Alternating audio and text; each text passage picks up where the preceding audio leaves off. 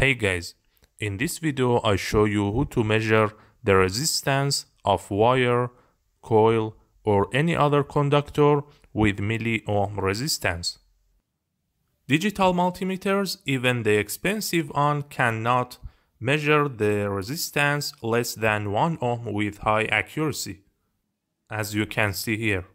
So we have to use another way which calls 4-wire resistance measurement.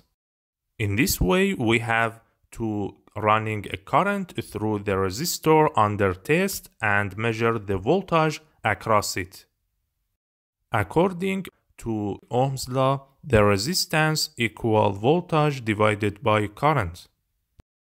To make this testing process easier, we usually use 1 amp current. So the formula become R equal V. That means the voltage reading across the resistor under test refers to the resistance of it. Here I have this 16 AWG wire. I want to measure the resistance of it. If I try to measure the resistance of this wire with the multimeter, the resistance reading is 0 ohm. So I set the current of my bench power supply to 1 amp and connect the wire to be tested between positive and negative lead of the bench power supply.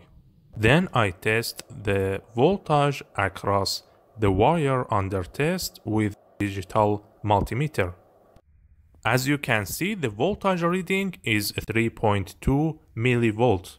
So the resistance of this wire is 3.2 milliohm. Let's compare this value with the wire specification. My wire is 16 AWG and its length is 27 centimeter. According to this table I find in the Google, the resistance of 305 meter is about 4 ohm.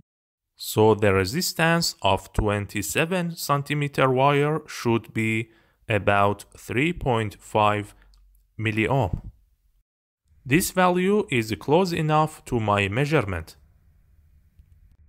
Thanks for watching.